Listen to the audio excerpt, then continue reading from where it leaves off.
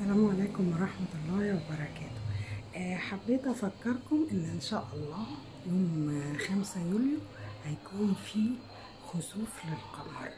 وخسوف القمر آه، أنا مش متذكرة بالظبط بس غالبا هيكون بالنهار عندنا في مصر وفي البلاد العربية. آه، حبيت بس إن أنا أفكركم إن إحنا نستعد ونقرأ سورة القمر ونسأل ربنا من خير الأيام اللي جاية وإنه يعديها معانا بالخير. آه ويعني ناخد بقى منطقة سورة القمر ونطلب من ربنا إنه ي- يقدم لنا ما فيه الخير لينا إن شاء الله وإنه يلطف بينا في آه الأقدار واللي مكتوب يعني إن شاء الله. فحبيت أفكركم هو إن شاء الله الخسوف هيكون يوم خمسة يوليو.